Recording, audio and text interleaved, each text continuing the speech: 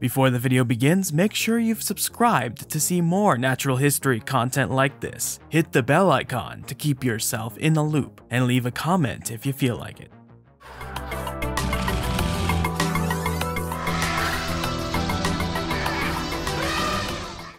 Brand new designs are up on the Edge Redbubble. Werewolves, spiders, FedEx amphibians, proto-crocs, and more. Go check out the Redbubble with links in the description and comment section below. Dinosaurs. The word brings to mind frightful and terrifying animals, dragons of reality. Some of the largest animals to ever walk the earth, big enough to dwarf buildings and swallow humans whole. The very nature of their existence fascinates our imagination and fuels our quest for knowledge. But, ever wondered what it takes to make one? In evolutionary terms, everything is related. So much so that technically dinosaurs and birds are reptiles and mammals are fish. But these relations are so distant and ancient, they become more confusing than helpful.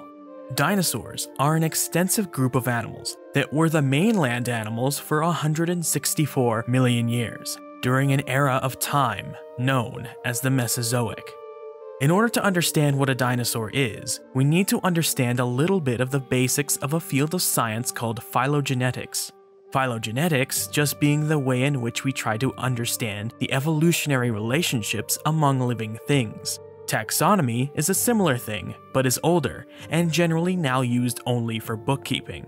Phylogenetics, on the other hand, uses a bunch of methods to get answers, like DNA sequences, protein amino acid sequences, and morphology.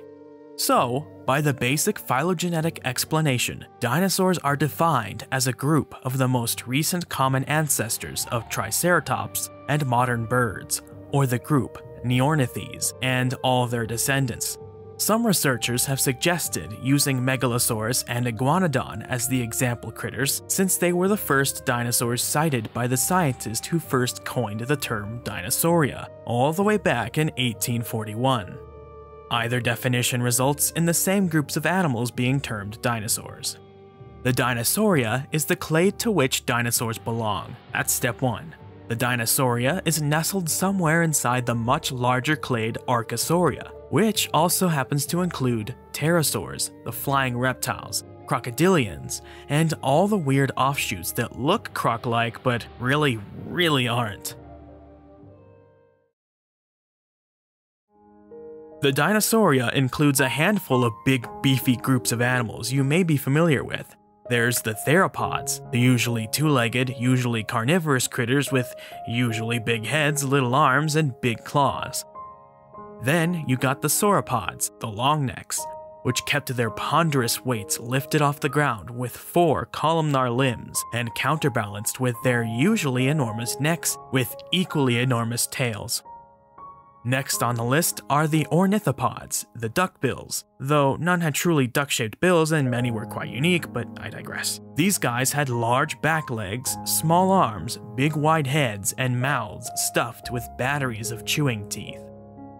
The Marginocephalians were a huge group that started out small, running around on their back legs, but eventually split into the dome-headed, boulder-gut pachycephalosaurs and the enormously rotund, big beefy hornheads, the ceratopsians. Finally are the armor hides, the thyreophorans. This group is further split up into the group that went way too hard into the impenetrable fortress department, the club-tailed, wide-gauged hipped ankylosaurs, while the other group used a tail of spikes and a set of bony billboards for display. They were the stegosaurs. The exact arrangement of these groups within the Dinosauria has been a topsy-turvy mess over the last decade, and I'll get into why here in a bit, but first I think I should bring up the precise characteristics that make something a dinosaur. What if you found some bones just eroding out in the open all willy-nilly? How do you know if it is a dinosaur? Well, first off, dinosaurs are some of the few reptiles with the distinction of having their limbs tucked directly underneath their bodies. Most reptiles have some configuration of their limbs outwards and at an angle. Dinosaurs have what is called erect limbs. The ball joints of the femur point directly sideways at a near 90 degree angle into the hip socket, so the legs can help support a lot more weight. Reptiles like lizards have what is called sprawling limbs. Then you have crocodilians that have a posture in between the two.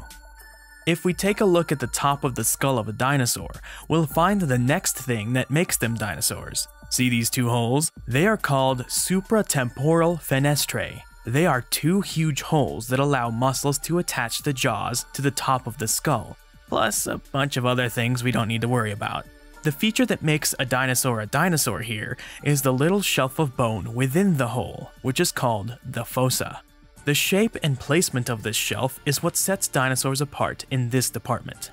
Prepare for another vocab word. Next up on the list is the epipophyses. The epipophyses in dinosaurs are unique in being these cute little prongs on the back of the tops of the neck vertebrae, but only the ones that are after the first two, which happen to be called the axis and atlas.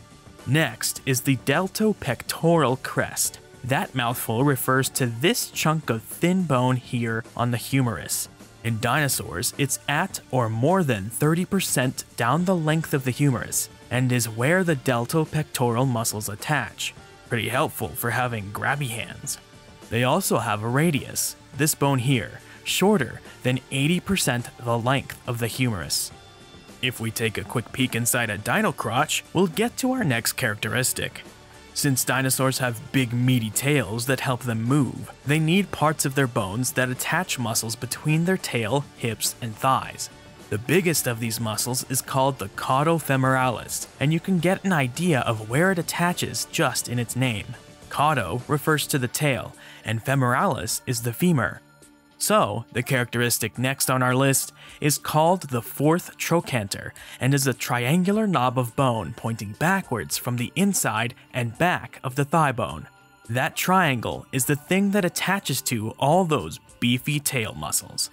In dinosaurs, the fourth trochanter is also asymmetrical, with one edge of the triangle forming a steeper angle than the other. Dinosaurs have weird feet, it's just the way it is. You know how we have a heel and walk on feet that are flat? That's a condition called plantigrade. Not many animals do it that way. Others that do are bears. The other way of walking is called digitigrade. This is the condition in which the animal walks on the balls of their toes.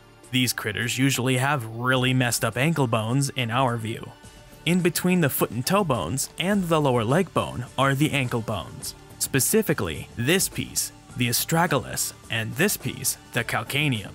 I won't bother with specific differences between different animal groups right now, but stay with me. In some animals that walk on their toes, the calcaneum sticks out backwards, but in dinosaurs, both the astragalus and calcaneum are squished into teeny bones between the toes and lower leg to help in movement.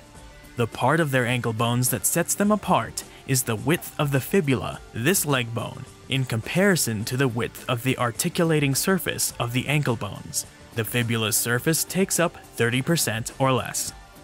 If we swing a dino skull around to the backside, we can take a gander at the next feature. These two bones are called the exoccipitals.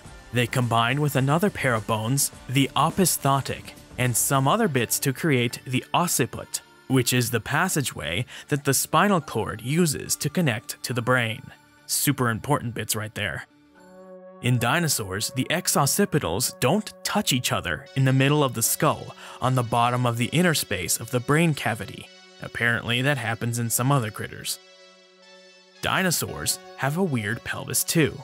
The exact orientation of the bones in their dummy thick hips is a useful tool to tell the major groups of dinosaurs apart, but we'll get to that here in a bit. Their hip bones are made of three chunks the ischium, this sharper backward pointing piece here, the ilium, the broad, bowl shaped piece up here, and the pubis, the forward or backward pointing, flared or pointy piece here. What makes the dinopelvis unique is that the ischium has two connection points, which make concave depressions in the bone. One connects the ischium to the ilium, and the other connects it to the pubis.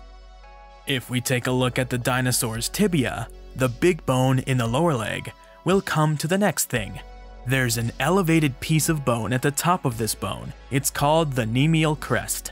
In dinosaurs, it curves to the front and outer side. If we turn this juicy bone around and turn our attention to the lower part of the tibia, we'll see a little ridge of bone. In dinosaurs, it is oriented from the center to the outside.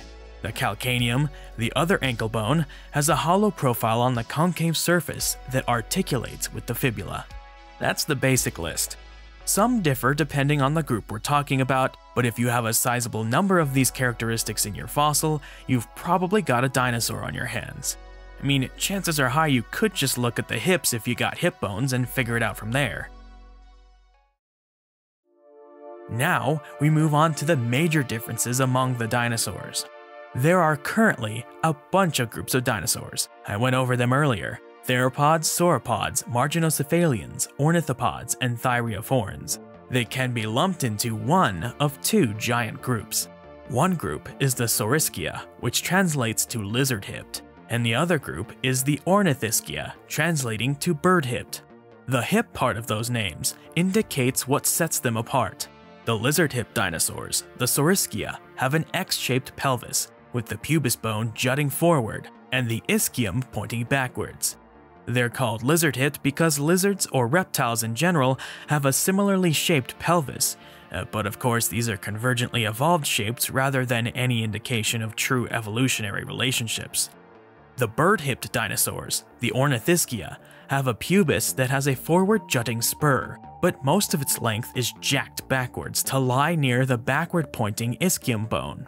This is the same general orientation seen in birds, hence their name.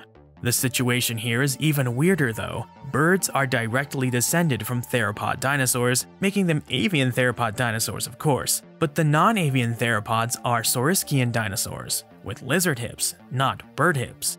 Birds evolved their bird-like hips independently of the true bird-hipped dinosaurs. Evolution is just weird like that. Of course, all these checkboxes for what makes a dinosaur a dinosaur becomes super blurry and all shades of gray when it comes to the earliest dinosaurs. They all start looking the same and get really hard to tell apart from all the other weird archosaurs that lived with them back in the Triassic. Also of note is that both Saurischia and Ornithischia are pretty solidly defined groups that don't see a lot of change, but where they place and exactly the orientation of evolutionary relationships between the groups within them have, and that's where some minor controversy lies.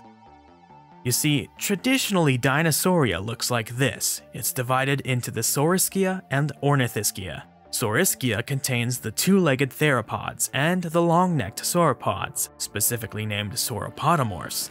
Ornithischia, on the other hand, has the ornithopods, marginocephalians, and thyreophorans. This is how it is taught in most intro-paleontology classes, and this is how it's been for quite a while. It's most likely the correct overall orientation, minus some fidgeting with groups near the base of the dinosaur family tree. Then, in 2017, came a new orientation of the family tree, proposed by Matthew G. Baron, David Norman, and Paul Barrett. In their paper, they provide a new analysis that places the theropods and the ornithischians in a new group, called Ornithoscelida, and sauropodomorphs plus the Herrerasauria group together in the Saurischia group. They found that the traditional Saurischia of two-leggers and long necks didn't hold up anymore, and that theropods shared a more recent common ancestor with the beaked, bird-hipped dinosaurs. Ornithoscelida is not a new name, just FYI. It was first proposed by Darwin's most obnoxious supporter, Thomas Henry Huxley, all the way back in 1870. The researchers provided some good data and evidence to prove their claims, but since the publication of their findings, many other researchers have provided some really good clapbacks, most of which find no real useful difference between the traditional and this newer hypothesis. Most researchers stick to the traditional classification, though it does remain possible that the new one holds some weight. That, in a big, lengthy nutshell, is a dinosaur.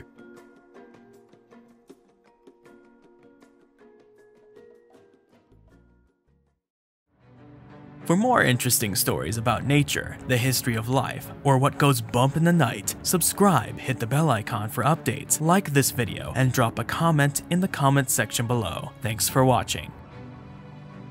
Special thanks goes to my Elephant Tier patrons, Thea Svensson, Staniforth Hopkins, Dinosaur, Chris Frampton, Biotaverse, Arda Bayer, and Christoph Hubinger, as well as my Tyrannosaur patrons, Iron Bladesman, Henry Brennan, Danny Van Heck, and Dana Manchester.